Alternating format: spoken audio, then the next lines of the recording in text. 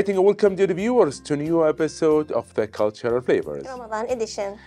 I'm your host, Dr. Mohammad Al-Qattan. And I'm your co-host, Eman Marafie. So, Eman, how is Ramadan with you going so far? Actually, it's going great. Good. How come? I'm spending more fam- more time with my family, and uh, I have a lot of time to do like some cooking or stuff like that. Okay, because this is your hobby, right? Yeah, actually, yeah. Good. And after iftar, I go to the uh, gym, so it's me time. Good.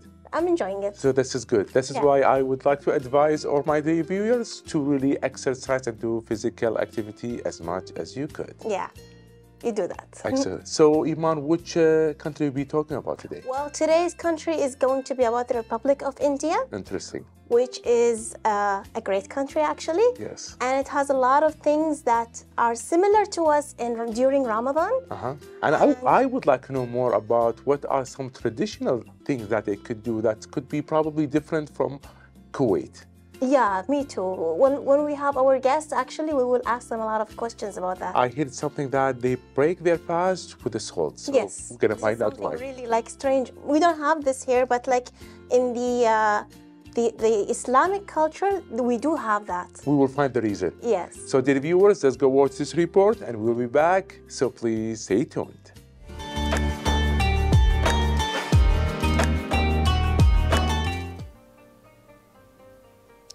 India, one of the world's most beautiful and diverse nations in the world. From the busy streets of Mumbai and Kolkata to historic forts in Rajasthan, vibrant bazaars in Delhi to quiet villages in Himachal Pradesh and Odisha. Soaked in history and culture while confidently embracing the 21st century, India is a country that can be explored for years and will surprise you at every corner. India is a diverse country, and different regions celebrate Ramadan in their unique way. Ramadan is a significant month for Muslims in India, and it is celebrated with great enthusiasm and devotion. The month long fast, iftar, taraweeh, acts of charity, and the festive atmosphere make Ramadan a unique and special time in India. In India, Ramadan is celebrated with great enthusiasm and devotion by the Muslim community. Both the suhoor and iftar meals contain a variety of snacks, appetizers, drinks, and desserts. Full of flavor and goodness, the food is either served at home along with family, in the mosques, or other designated places. In some parts of India, halim, a popular dish made of wheat and meat, is a traditional iftar food. In other regions, people break their fast with dates, fruits, and sherbets. Keema samosa or minced meat samosa is a must have during Ramadan. No iftar celebration is complete without this snack. Sheer korma is a rich Mughlai dessert made during Ramadan, where sheer stands for milk and korma stands for dates. The texture and sweetness of this dessert is so unique that it prides to have many foodie fans during the holy month. For a drink, Ruh Afza is a common sherbet prepared during Ramadan. It includes herbs, fruits, veggies, flowers, and roots. Its brilliant fragrance, special flavor, and cooling effect make it unique and special from the other drinks.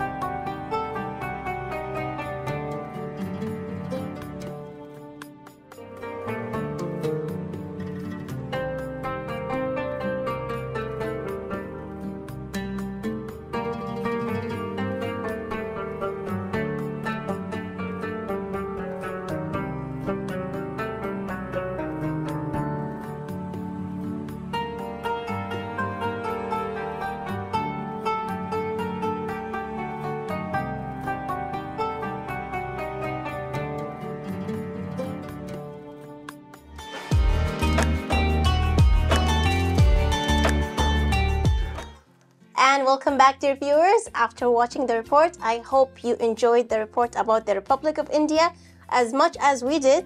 And today we have our esteemed guest, Mrs. Amna and Mr. Taqib. Welcome. Thank, you very much for having us here. So we're so glad and so excited to talk about the Republic of India, especially in Ramadan. Yes. So, in the beginning, can you tell us about yourself? Mm-hmm. Start with the with the la- ladies, Let the lady- ladies first. You were talking and don't give me the opportunity.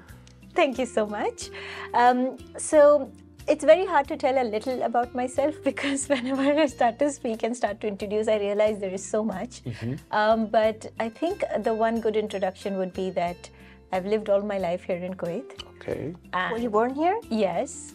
And great. did, I went to school here. Uh, I did go to India for my master's. Mm-hmm. Um, I did masters in physics, and then I came back to the country I love, All right. which is Kuwait. And you have a TV show at K- KTV2. Yes, I do. All right, I do enjoy. I'm living a dream. I work with Kuwait TV too Oh, nice. uh, as a presenter for the program uh, in Bollywood. Okay. Um, I also do some workshops, uh, which is about conducting workshops on collaboration, teamwork, Mm-hmm. and I always wanted to teach. It was a dream uh, that I wanted to teach, but I didn't really get a opportunity here in the university. So. Um, you know, as Allah would want it, He gave me a better opportunity. Now, instead of school students, I teach corporate employees. Perfect. Uh, and I do these collaboration uh, sessions for companies. Nice. That's great. So let's move on to Mr. Taqib. Yes, uh, what can I say about myself? More than uh, India, I've lived all my life again here in Kuwait. Uh, my grandmother used to be here with uh, all four of her sons and two daughters Oh, in the mashallah. 60s.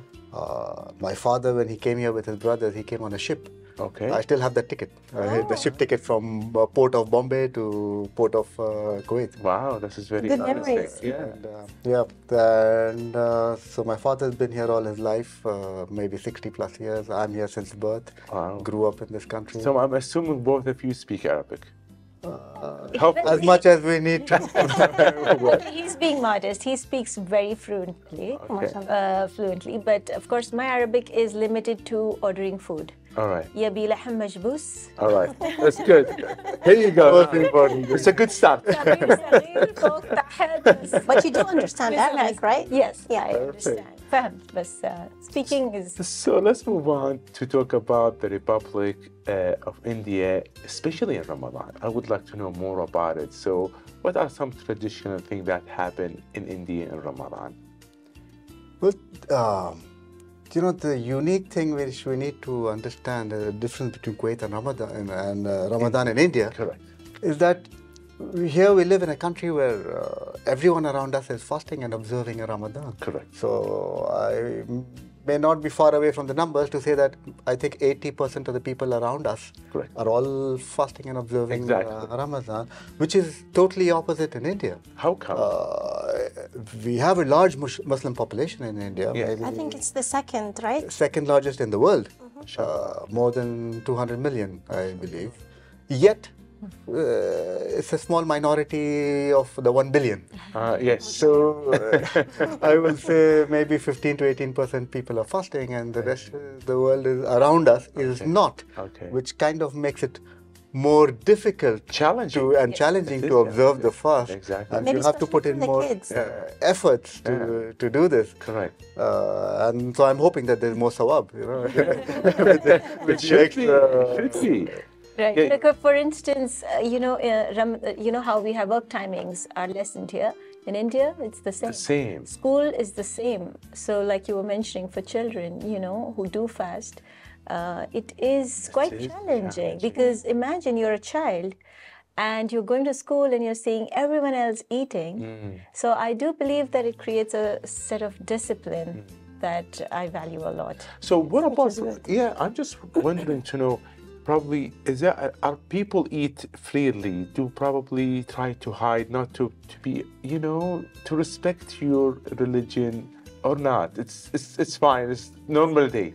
It's a normal day. It's a normal. It's day. a normal day. All right. Very, is it challenging? It is, but I would say it doesn't bother me also because, you know, if you think about it, Mm-hmm. you fast because you want to. Yes. And as long as that is the in, the intent is clear, Yeah. then it doesn't matter who's doing what around Exactly. you. Yeah, because at the end we're abiding the rules of Allah. Yes. So this is what we all want. Correct. It's about self-discipline in the end. Yeah. So uh, whatever the challenge is, the idea is for the person to discipline himself, not to fall uh, the for the temptation. Interesting. Yeah. So like during the holy month of Ramadan in India, do you have specific uh, specific places that you go to? I would say masjid. Ah, okay. This probably yeah. This is going to be Yes. Is it popular. after or before like for for praying the uh, Maghrib and Isha? So yes, throughout the day actually. Um, so if you're working, it's a normal day. It's hard to go to the masjid. Yes. But during uh, for iftar, everyone gathers. Okay. Uh, like Ah, so you do have your like breaking the fast is there. in the masjid. You eat itself. futur there. Yes. Okay. do our Futur there, and then followed by maghrib prayers. So what about uh, visiting your relative or your family member? Yes. This is something common. Yes. Uh, not as much as the, the tradition of Gabga here, Okay.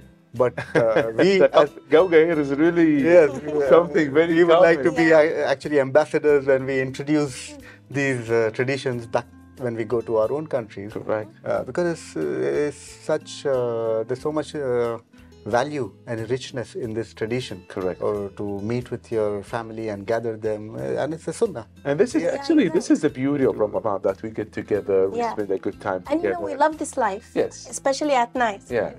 And then our curfew as girls or women Yeah. uh, changes. Correct. So we can come back at one or something sometimes. right. exactly. And you know, probably everybody here uh, are busy during the year. And probably the really good chance that we spend a good time or quality time with family is in the holy month of Ramadan. True. So move on to the food. Do you have any specific food that you serve in Ramadan or any drinks or any sweet in India that people do? So during Ramadan, I would say we open our iftar with something called the halim.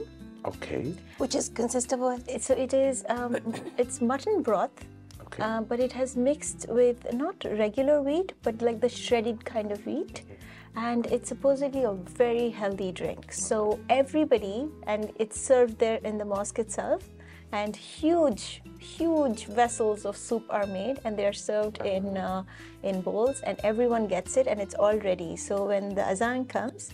Everyone lifts their bowl and breaks their fast. This is served by the mosque itself, right? It's uh, by the people. Oh, okay. So Amna, in the introduction with, with my colleague um, uh, Eman, I mentioned that to our dear viewers that people in India they break their fast. With salt.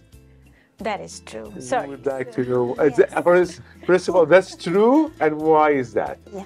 Yes, so yes, before the soup comes the salt. In fact, before anything, you open your fast with salt. Okay. And that is true. And the reason behind that is see, you know, these days oh, everyone drinks water with their food. Hmm. Now, water is, you should not drink water. Okay. Because your food needs to be digested by peptic acids in your stomach. And, you know, chemistry teaches us that if you put water on any acid, it gets diluted. Yes. And if acid is diluted, then it weakens its power. So now the food that would have gotten digested in half an hour is now going to take longer because you're drinking so much water with it. So never drink water with your food. Either drink water half an hour before or after. Yes. Now, the problem with not drinking water is people say, oh, uh, you know, it becomes dry. How do we gulp the food down? It doesn't go down, so we have to push water in so that. Then the reason why your mouth is getting dry is because there isn't enough saliva. Uh-huh. And that's the trick with the salt. Okay, so the salt is the reason for the saliva. Saliva to come. So Okay. try it next time when you sit down to eat. Take a little bit of salt in your right hand's index finger. Oh, there's just a tiny bit. just Yes, a just little, fine. like this, like few pecks. Yeah. And you keep it on the tip of your tongue. Mm. Okay. And you will see the saliva gushing in, all that there in your mouth. When you keep your first b- bite, you will see that the saliva starts to mix Flow, with it. yeah. And the saliva has those digestive properties which your stomach also doesn't have. So it helps to break down the food. And then you chew your food 32 times at least and break it down enough to be able to digest your food. And also from the salt because you get also the minerals. Like 99% of the minerals we get it from sea salt. Correct? Also like uh, the Himalayan salt. Yes. So, Eman, do you break your fast with the salt? Actually, it's not only during Ramadan, it's like even in the regular like days. Exactly. But sometimes Every I forget. I, I will try. It's not every time. Sometimes we forget, but like we do that. I will try tomorrow. Try it. We'll do that. In my home, we've been doing it all our lives. Uh, every meal. this is something. This, This is is a something. good thing. Yeah, this long time ago is something really. Uh, if we have it Recently as, as a We sunnah, it's knew a the reason, reason no? have uh, you know Little salt and then begin your meal. So we grew up with this book called The 40 Lessons, the Chahal Sabak. Mm-hmm. Uh, and one of the chapters is about eating and drinking. And in that it says, start your every meal with, a s with salt, peck of salt. But this is good advice to our dear viewers that you could break your fast with salt, and this is gonna it probably increase the digestive, right? Yes. We'll do that, and hopefully all the viewers will try it. So Let me know how that goes. Yeah, well. so move on. Uh, Dishes, any food that's unique in Hon Mafta Ramadan?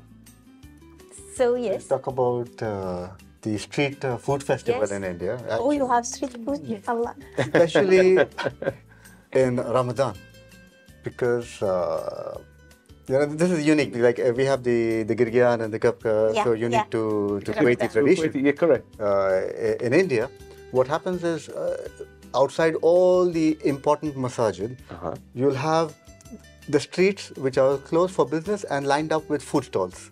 So you have food stalls for maybe a kilometer or two kilometers. I mean, there, is, there was a very uh, important TV program on Kuwait TV called Muhammad Ali Road.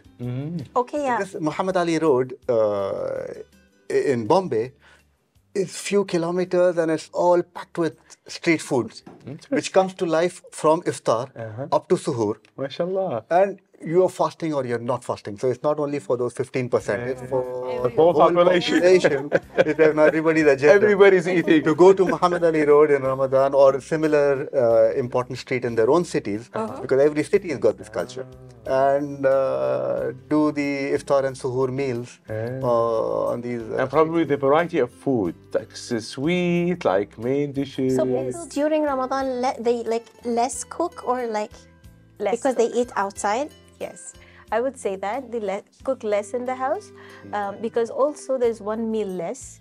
So Yes. instead of three meals, now you're true. cooking only for two meals. So they only do iftar uh, and suhoor. Mm-hmm. But also now, like he said, iftar is mostly, hey, let's grab a little outside. But also, you know, you visit family and friends Mm-hmm. and then have iftar with me, the other person have iftar with me. And so also that's Yeah. less. This is very interesting to know. So, talking about food in every episode, my colleague Eman prepared a dish for us. So, Eman, what do you have for us today? Well, actually, today it's going to be a shrimp with uh, noodles. Okay. I'm not going to tell you the ingredients now. After the break, hopefully, uh, we will come back and then I will tell you the ingredients. So, dear viewers, stay tuned. Don't go away.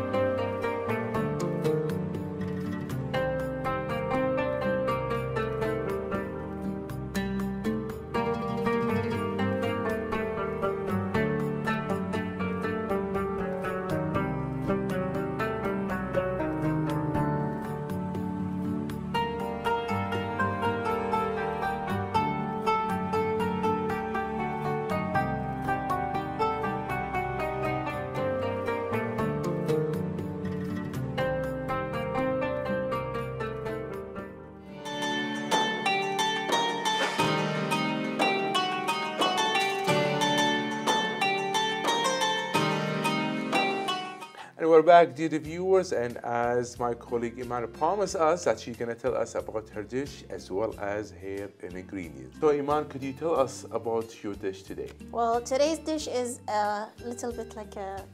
It's I, I think it's, it's either Italian or something. Anyways, it's uh, pasta. should be healthy, huh? Yeah, it is Yes. healthy. Yes. It could be eaten for futur or like after. Mm-hmm. And uh, it's uh, pasta usually, and today's pasta is gluten free. So for people who have allergies, they can eat it.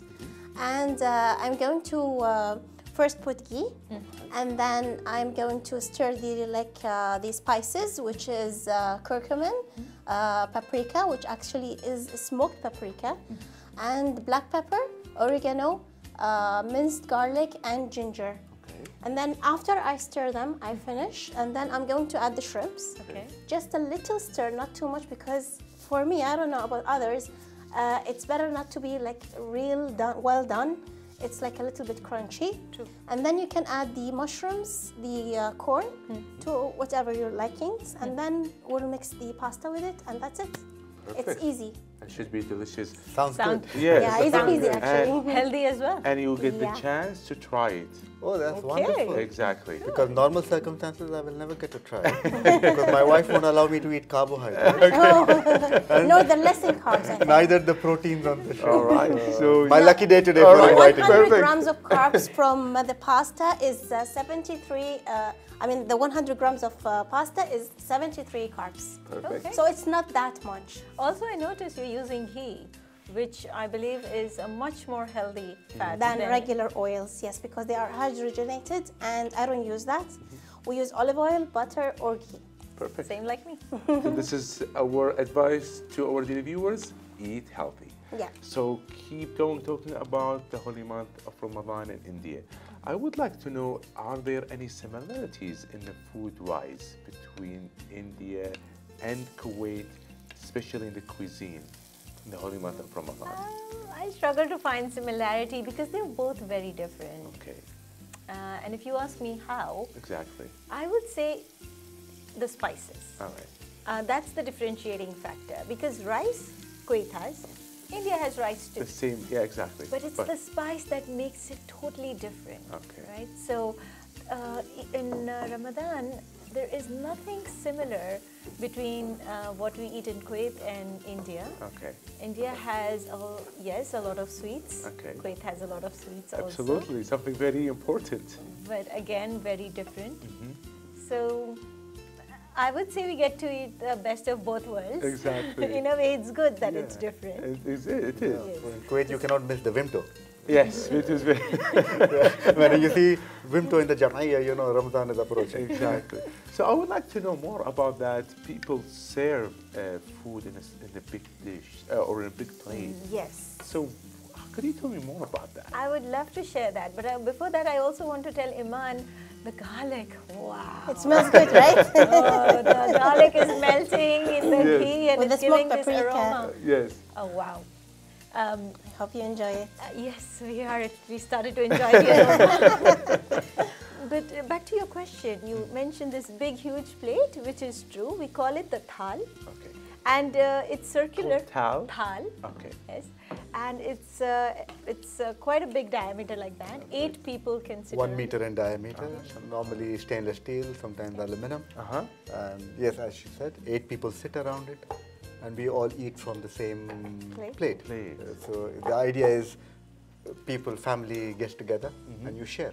All right. And uh, the spirit of Ramadan and the spirit of sharing Exactly. is uh, so well expressed in this. And, and get and probably sitting to each other. This will Yes, make close us to each other. exactly. It's Sure. something really unique So close to each other, also preferably on the floor. on the floor. So you know uh, how you eat with your le- one leg up, which kind of presses your stomach Ah. Okay. enough so that you don't overeat, Okay. right? So that's one of the traditions. Okay. The other thing is, you know, now the salt. Uh huh. Um, the other thing is we pile up whatever we're going to eat. So let's say the dish is rice. So the rice will be like in the center, like a mountain, and everyone will take a little from that, and in their space, in the thal, in their little space, Uh-huh. they will eat. Nice. And they say the best thing to do is finish it all, not to leave even a morsel, because Very good. none of it should Because that, that is really the values that uh, we want to promote in Ramadan. I mean, you know, not uh, you. We do this to develop empathy to people who do- don't get uh, two square meals. So uh, it is important to control wastage of food. And probably Yeah. eat with your hand.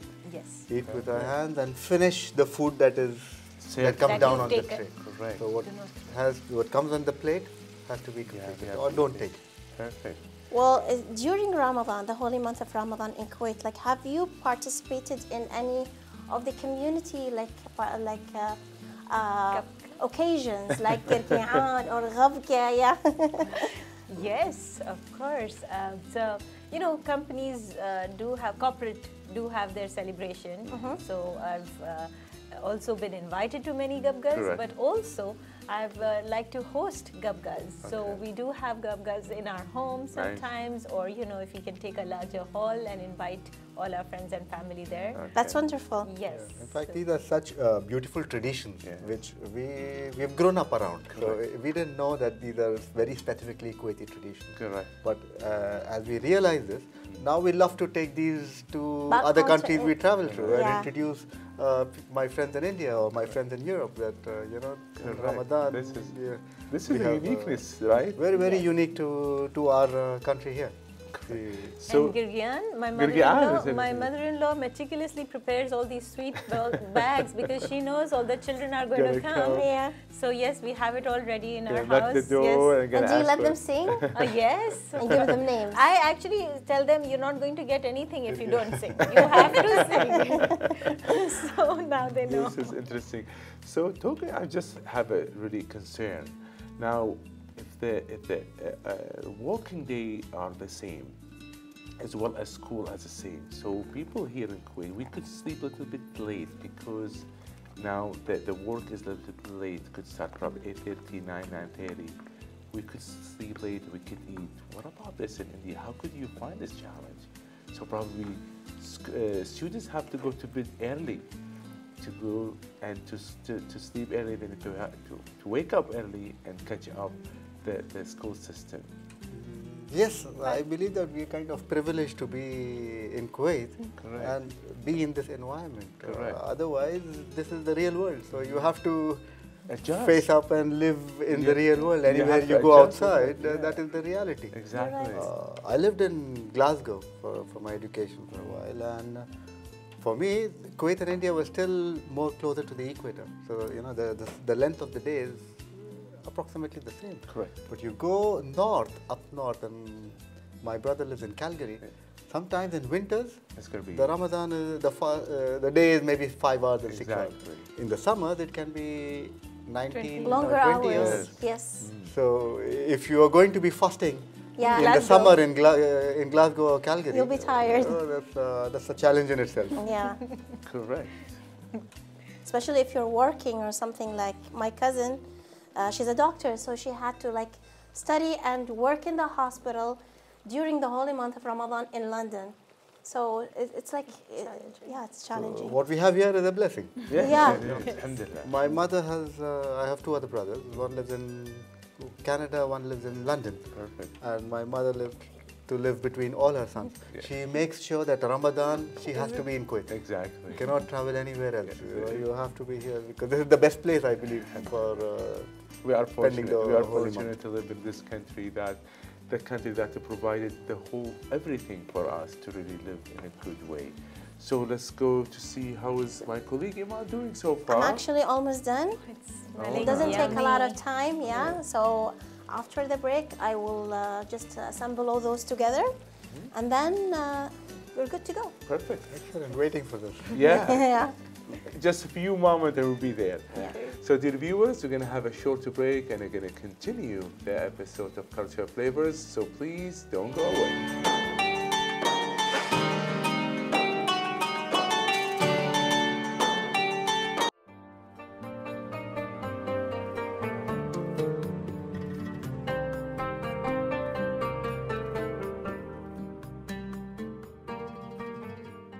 Ramadan Kareem, everyone. During Ramadan, food is in the heart and taste buds of everyone in Kuwait. And not only Kuwait, but everyone around the world. It is the main dish and it is where we excel.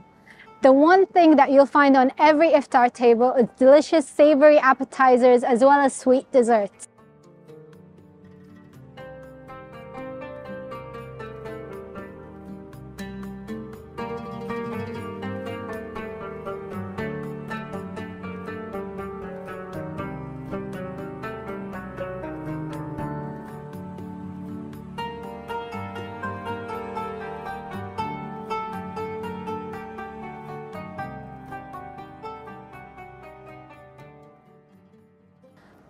Terms of appetizers, there is one that people fight over, which is sambusa, or some people like to call it sambusak or samosas. There are thin dough pastries filled with delicious fillings, such as spiced meats, cheese, or vegetables. They're fried until they're crispy and give you a crunch with each bite. Not only that, you've got kubab, and some people even excel with soups. They create new and different soups to incorporate to provide a filling start to your iftar meal. So join us as we take a tour to show you all the different foods found on your iftar table.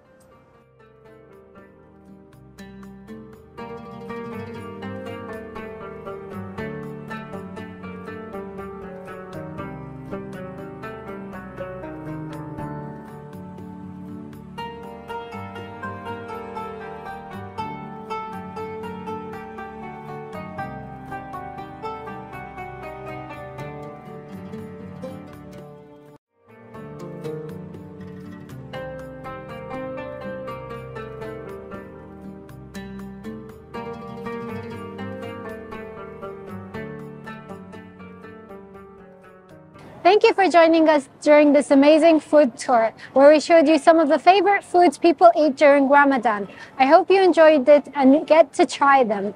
Happy Ramadan!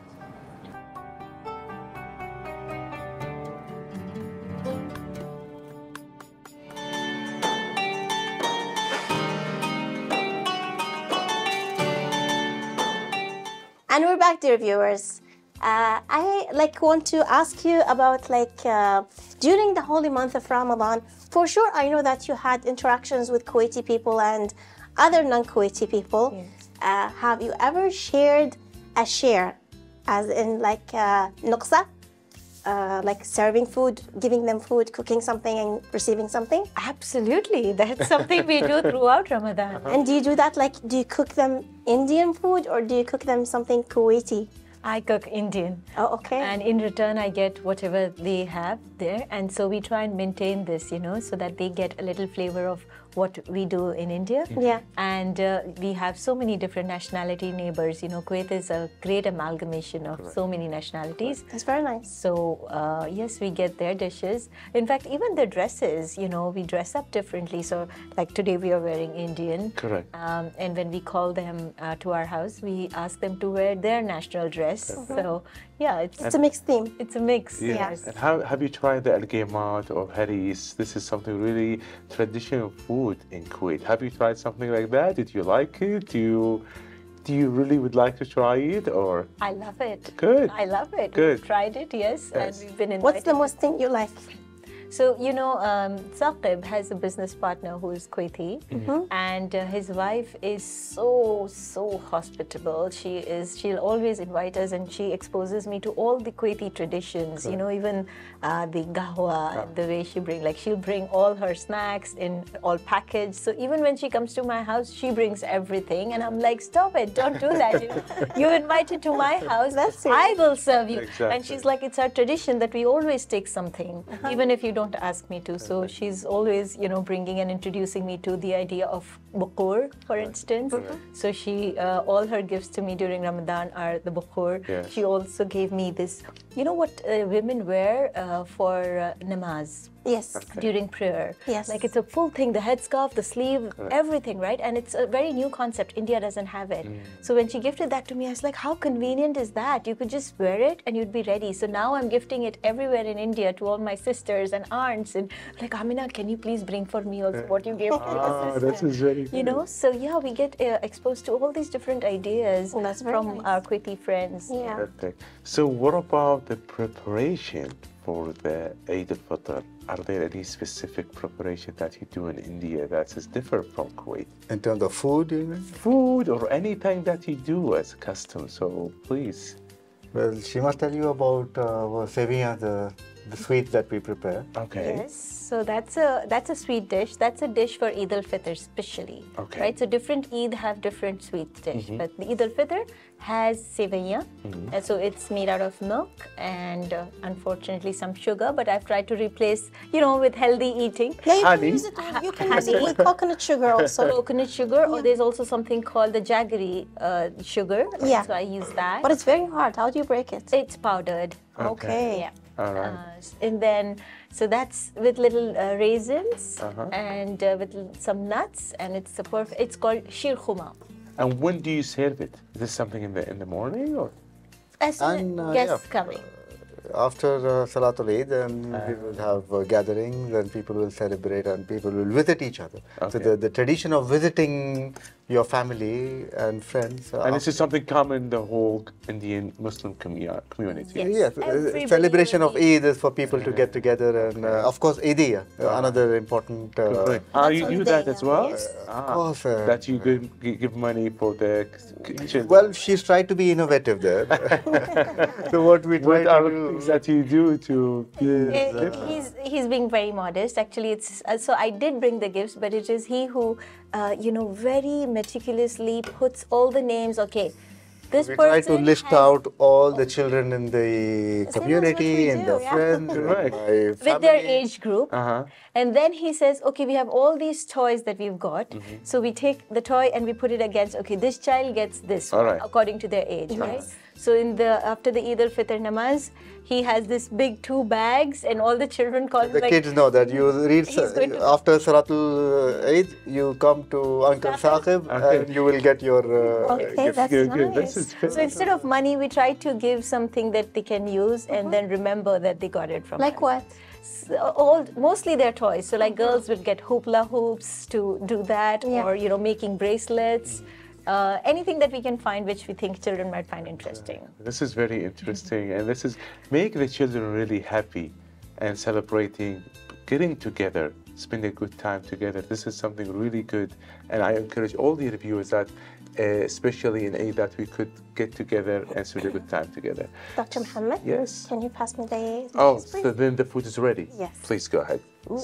Already smells so yummy.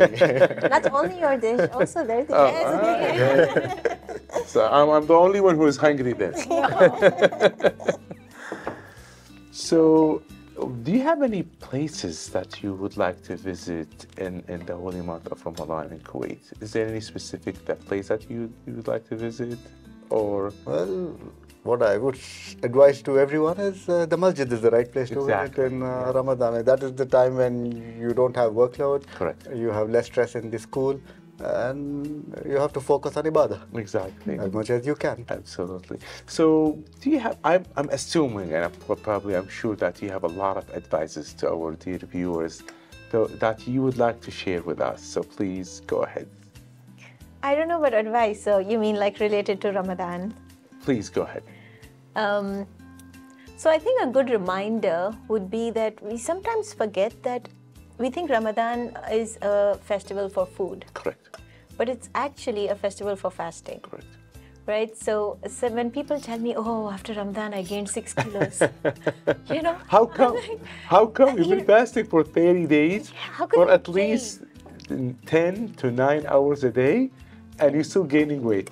So that tells me there's something wrong with the way you're fasting, Yes. right? So um, I always lose around three kilos every Ramadan. That's good. And then I gain them in the next three months. Okay. This is important. to get. Yes. So thank you, sweetie. so Oh my much. gosh, it looks yummy. Looks Like good. into- Smells and looks uh, Perfect. yummy. too. Yes. This is yours. Thank you so much, Bon Emma. appetit. Please. Thank you. Thank you. So should we dig in? Of course. Please go ahead. Can we start with some salt if you have? Okay. Uh, do Yeah, you sure. have some? I'll bring See? this one. So we're gonna apply the piece of information that I'm gonna give us to really start with the salt. Yes. All right. Always, always. So please, just- please go ahead. Talking about that, we gain uh, a lot of weight. Right. So I think it is important to remember that it's not about eating from iftar to suhoor. Correct. It's about eating iftar and then after six hours Yes. or so eating suhoor. Exactly. Right. So you go from three meals a day to two meals a day. Mm-hmm. Um, I think that is something I'd ask everyone to remember. Okay. And for me personally, I, I think Ramadan is um, time for identifying your dependencies. Okay. And what do I mean by that? So, for instance, I'll give you my example. You know, uh, a lot of my friends tell me that during Ramadan we are so like tired and my head is hurting because we're not eating. I said, no. This is not a reason. This is not true. The reason why your head is hurting is because maybe you're dependent on something like caffeine correct.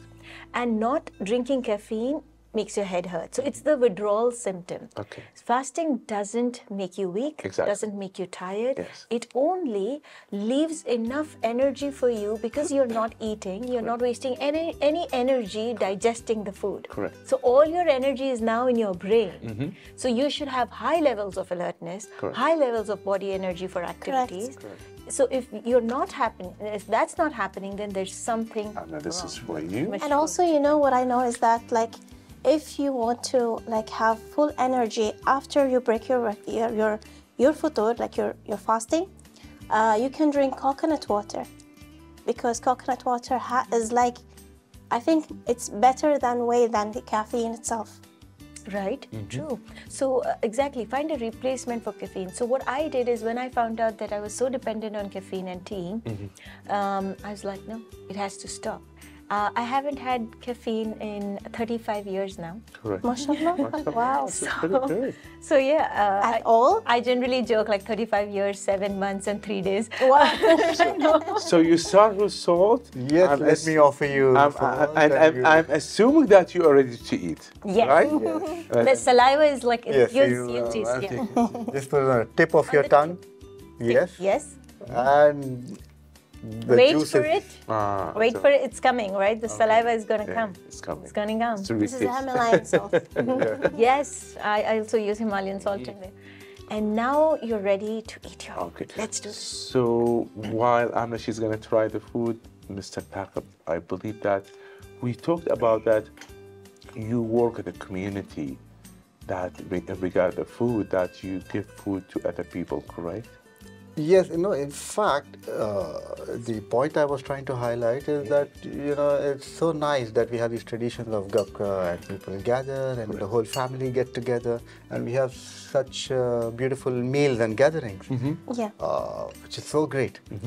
But sometimes, sometimes deep inside, it also comes to our attention the amount of food that people The, are the quantity. preparing and the food that is going to waste. and then, Yeah.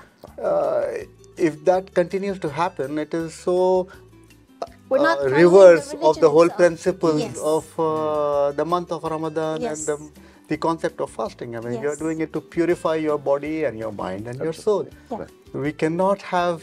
We should have all. All of us should be more disciplined Yeah. in the amount of food that we we consume and we waste. Yeah, you're right. Uh, and for that reason, that's what I was telling you about, is when we host these gatherings ourselves, we're very conscious about how many people are going to attend, Yes. how much food we are going to prepare based on number of people who are going to come.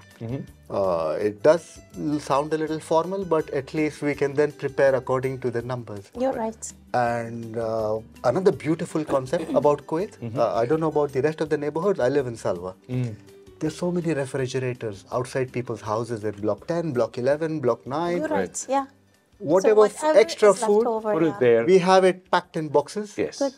And every night we make sure that the, Somebody the else- messenger puts it somebody in else the can use it. refrigerator. Yeah, Yeah. somebody else can That use is the whole can eat it. idea. Correct. To share your food and make sure that each food, uh, all the food, it goes to uh, People who the are really people- And after that, also God will reward you for that. Exactly. Because you fed someone who's really hungry. Correct. Uh, Which is a great message for today's uh, episode. Correct. So, Mr. Taqib, you please go ahead and eat. Uh, tell me about the food. I'm uh, waiting to do this. All right. So, Mr. Taqib, I just, I'm sorry, I for you to couldn't eat. wait. It was too tempting. Exactly. So I go ahead. ahead. It's yummy. Thank so you. we Oh, would thank you like so to thank much. you. Exactly. Both of us would like to thank you for your time as well as for all the valuable information that you provide for us. Well, thank you very much. Thank you for ha- being here. Thank you for eating and telling me good uh, things. Thank you. Thank you for your kindness. It was a pleasure to be with you and talk to you about this holy month. And uh, Our pleasure. You know, I, Yeah. I don't know who's written this, but uh, he said, if you wish to see the world happy, then remember day by day to spread the seeds of kindness as you pass along the way. Yes. Wonderful. Indeed. Thank you. That's nice. So, dear viewers, we're going to see you in a different episode, choosing another country. Until then, please be safe. Bye bye.